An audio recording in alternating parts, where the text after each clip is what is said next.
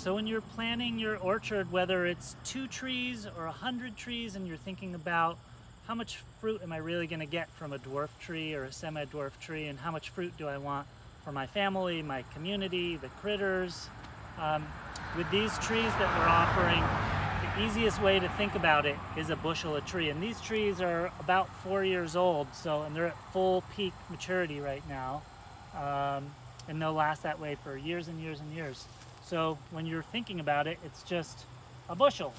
And you come to the next tree, a bushel. And your next tree, a bushel. and your next tree, a bushel.